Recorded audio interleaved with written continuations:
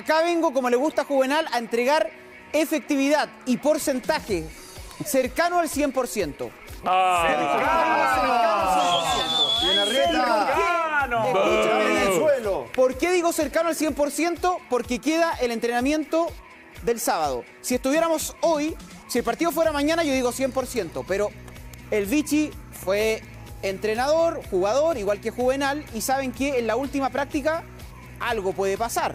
Ojalá que nada, pero bueno, algo puede pero, pasar. pero ahí usted debería decir, va a jugar eh, tal jugador y si se lesiona va a jugar este otro. Claro, sí, claro. El otro. el Este otro, este el otro. juega poco pero juega. Ese tiene poco ritmo. ¿Tiene poco ritmo? Pero fue figura.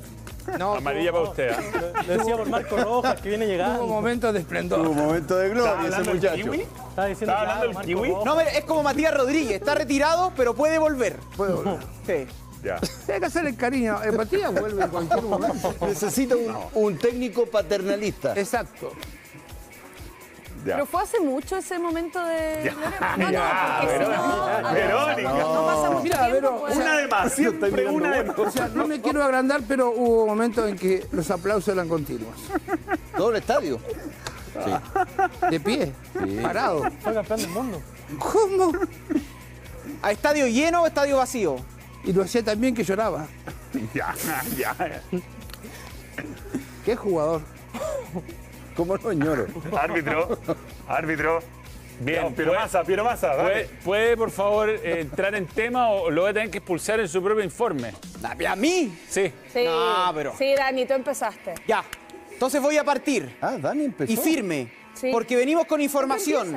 Porque hoy día hubo entrenamiento en el Estadio Monumental, penúltima práctica de Colo Colo en la previa de este partido y acá vamos a comenzar a ver las imágenes de lo que ha ocurrido en la semana y también vamos a revisar imágenes del arengazo, porque durante esta jornada, después de más de dos años, se abrieron las puertas otra vez del Estadio Monumental para que el hincha vaya y le dé ese último aliento al equipo en la previa de este partido, de este encuentro que siempre se espera. Y ahí estamos viendo la imagen, había más de 10.000 personas en el Estadio Monumental, eso fue pasado el mediodía. Colo Colo entrenó en una de las canchas aledañas en las que habitualmente entrenan y pasado el mediodía llegó hasta la cancha central del Monumental, donde ahí todo fue algarabía y explotó ese sector de cordillera donde estaban los fanáticos de Colo Colo esperando justamente la llegada del plantel, cuerpo técnico, staff y todos los que estaban presentes durante esta jornada en el Monumental, pero había mucha gente y ese fue el ambiente que había Dani. durante esta jornada en el Monumental. ¿Se explicó por qué hay más de 10.000, 12.000 personas en un evento como este y en un partido de fútbol tan solo se dejan 10.000? Algo que no, no tiene sentido. Es más, Porque la entrada- si hablamos de la distancia... La de la- entrada, la entrada era gratis. No, no, no. No tiene sentido por el tema del aforo. Mira, Si acá, hablamos de distancia y todos estos temas que tanto le preocupan al, Ministerio de Salud, con el resto de los partidos que no pueden llevar más de 10.000 espectadores, eh, es absurdo. Mira, la autorización era para eh, 10.000 personas, como es el aforo hoy permitido en los recintos deportivos. Eh, sin embargo, creo, como dice el Vichy, como no era con entrada esto y era prácticamente los que llegaban, quizás hubo más gente. Pero lo que al menos yo estuve ahí y lo destaco es que no pasó nada en cuanto a la seguridad, todo fue tranquilo, según lo que me dijeron a mí por lo menos en Colo Colo, que no hubo ningún incidente y eso es bueno. Ojo, los clubes grandes, Colo Colo, la Universidad de Chile y la Católica, ya le pidieron al Ministerio de Salud ampliar los aforos porque muchas veces es inentendible que en un concierto, en un lugar cerrado, esté lleno, por ejemplo, vamos a el, el lugar que está en el Parque O'Higgins, para no, ser- para no decir el nombre comercial, pero donde se hacen conciertos, cerrado, está lleno, todos los fines de semana. Y en los recintos deportivos, en los estadios, solamente se pueden 10.000 personas. Y lo más extraño es, es que, por ejemplo, en San Carlos de Apoquindo, que la capacidad 12.000 personas, por ahí quizás un poco más, se pueden 10.000 personas. Pero en el Monumental, que tiene capacidad para cerca de 40.000, también hay 10.000 personas. Y Es ahí, absurdo. si es que sube la capacidad, igual va a haber separación y esto de los protocolos sanitarios. Por eso, a mí me parece que en agosto esto ya debería cambiar. Es lo que esperan obviamente en los clubes, pero obviamente que eh, la pandemia es un aprendizaje y creo que los aforos en los estadios nos da a entender que quizás no es un gran foco de contagio. Sí, me pero parece. Dani, en, en algún momento en el gobierno anterior eran 60% el aforo, Sí. 75% el aforo, o sea, dependiendo de la cantidad de lugares que haya para, para ingresar al estadio, No, se hacía el aforo. de las fases en las que estaba No, la no, región. claro, pero te digo, eh, sí, eh, no era lo mismo el aforo de San Luis de Quillota, No, claro. del, de- del Estadio de San Luis, digo, que el Estadio Monumental, que el Nacional, estadios que pueden albergar con más gente. Entonces, el hecho de cerrarle un número de 10.000 personas, un estadio que va a ser para 10.000 va a estar lleno, y un estadio que va a ser para 40.000 va a estar un tercio, Tiene o sea, que ser un cuarto. entonces. porcentaje, tiene que ser un porcentaje. proporcional, proporcional. Entonces, son esas medidas sin sentido del ministerio que, que ojalá pronto los pueda arreglar la, la NFP. Pero ya, no quiero ser como Marcelo Díaz y comenzar a hablar otros Eso. temas como para, para No desviar se la vaya por la atención. tangente, no se vaya por la tangente. Yo quiero acá entregar la información y lo que prepara Gustavo Quinteros para el partido de este domingo. En la práctica de ayer, este jueves, comenzaron los primeros movimientos. En un momento estuvo Pizarro en la mitad de la cancha y en otro momento estuvo Oroz. En un momento salió Pizarro y estuvo Oroz y Zavala. Hoy, finalmente, en esta práctica de fútbol, Gustavo Quintero nos sorprende con la salida de Vicente Pizarro, que no estuvo en la mitad de la cancha. Y quienes sí fueron probados y trabajaron en el equipo titular, Alexander Oroz y Cristian Zavala. Los dos.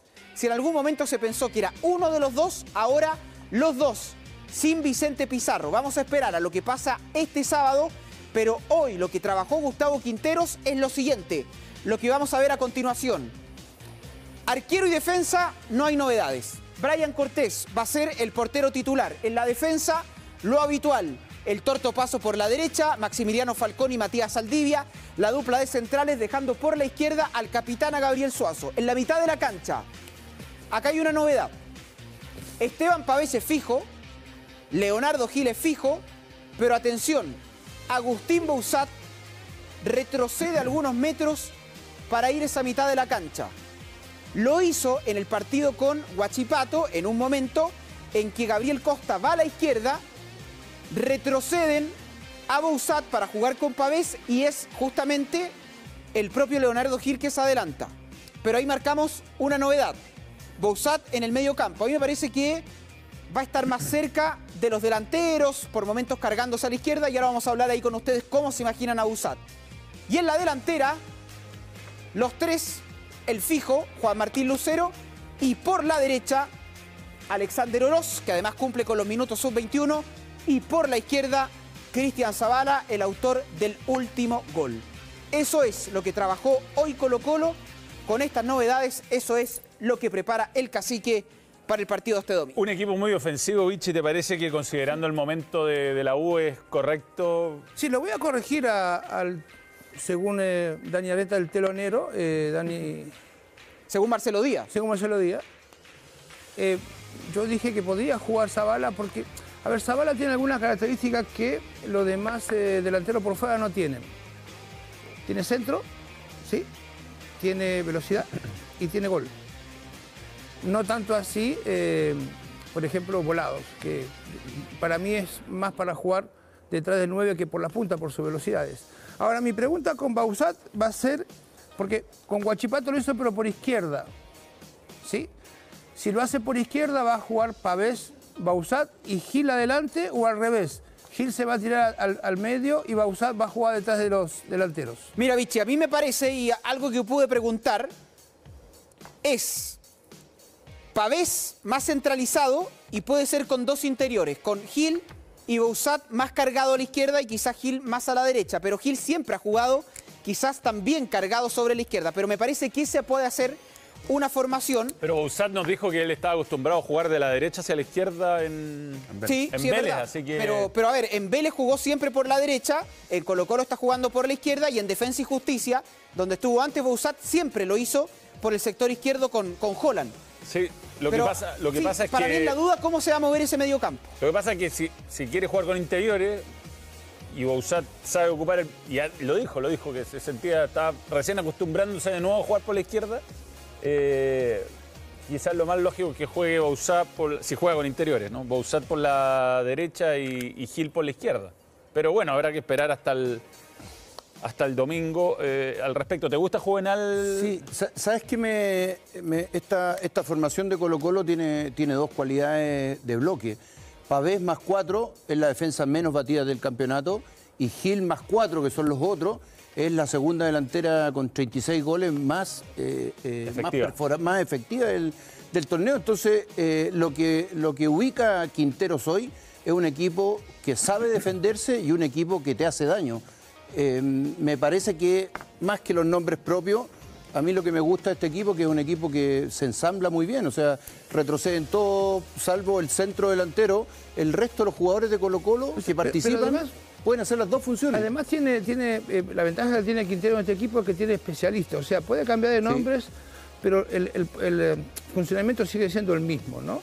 Eh, porque, lo, bueno, sal- salvo con Costa que cuando lo hace por izquierda no es un desbordador, pero sí un jugador que hace diagonales. Y yo creo que si Colo Colo con este equipo se llega a recoger hasta medio campo y te salen velocidades, te puede hacer mucho daño. Porque la velocidad que va a tener por las puntas va a ser mucha. Pregunta para el Vichy, eh, que quizás nos puede guiar en esto. Yo tengo la duda. Con este medio campo, con eh, Gil y Bouzat, que creo que Pavé siempre va a estar más retrasado, pero con Gil y Bouzat, ¿quién irá a ser el que vaya a presionar junto a Lucero? Porque Colo Colo presiona Yo creo que va a ser- justamente con Gil y Lucero muy adelantado. Va a ser Bausat. ¿Está bien dicho ahí? Sí. Bouzat. No, porque yo tenía. Yo tuve un compañero, un querido amigo mío, Bausat, por eso, por eso digo Bausat, pero es Bausat, es Bausat. ¿No será Bouzat? Eh, yo creo que va a ser él. Eh, a ver, me imagino, yo no lo conozco tanto, ¿no? Ha jugado muy poco en Colo Colo y la verdad que yo en Vélez no lo he visto mucho, tampoco en Defensa y Justicia. Pero me, me da la sensación que es un jugador adaptable, Sí. pero que carece de la marca que puede llegar a tener Gil o eh, Pavés. Entonces me imagino que el jugador que va a hacer esa función que hacía un poco eh, Gil eh, con Lucero lo va a hacer él. Y me parece que también los dos aleros, tanto eh, Oroz como, como, Zavala. como Zavala, se va a tirar un poquito atrás. Ahora, puede ser perfectamente los dos interiores, viendo que la U tan solo juega con dos volantes más centralizados, buscar ejercer esa presión con Bouzat y con el mismo Gil. Sí, Claro, creo uno- que se van a ir rotando también. Me parece que no, no cambiaría nada. Y veo más a Gil de interior derecho por el hecho de que busca mucho protagonismo a la espalda del lateral con Oroz. Y al ser zurdo, Gil le acomoda mucho más el pase en diagonal a la espalda del lateral izquierdo. Yo creo que por ahí podría ir quizás este, esta rotación del, del triángulo. Me llama la atención porque Quinteros, incluso lo dijo hoy Dani, que no es mucho de cambiar el sistema, la formación, a menos de que tenga ausencia. Pero Bueno, dentro tiene la- de él no me parecería una idea. Costa tiene para el domingo. Claro, claro. ¿Sabes qué otra, otra tiene diferencia? Perdón, otra diferencia, o sea, no diferencia, sino que otro punto a favor ah, de, de Colo Colo es la estatura, las pelotas detenidas. Tiene, un, tiene un muy buen ejecutador con Gil y tiene buenos receptores. Son tipos que van a- bien al cabezazo eh, y por ahí también es otro elemento diferenciador que se puede encontrar. Y me parece que también Colo Colo va a buscar mano a mano constante a la defensa de la Universidad de Chile. Porque te va a atacar Oroz por la derecha, que seguramente va a buscar el duelo con Morales. Va a jugar Lucero y creo, como dice el Vichy, a mí también me parece que va a jugar Bouzat más adelantado y ahí van a buscar a los dos centrales, a los dos Tapia, que por el momento serían los que están jugando, y Zavala va a buscar el duelo por la derecha con Navarrete, que es hasta el momento el que también estaría jugando. Entonces creo que Colo Colo va a intentar pillar mano a mano a la defensa de la Universidad de Chile y en ese mano a mano también va a llegar desde atrás Leonardo Gil, pero es algo de lo que va preparando justamente Colo Colo. Para cerrar, dos informaciones.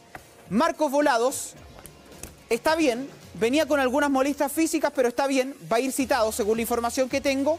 Y ojo con Marcos Rojas, que no le sorprenda que no aparezca porque ha venido nuevamente trabajando diferenciado porque tiene una molestia, me, me comentaban que es en la planta del pie, pero que, que- que no ha podido trabajar de manera normal. Difícil. Quizás va citado para que vea el contexto de partido, pero no sé si a la, no sé si a la banca o entre en la lista de los 18. Tenemos,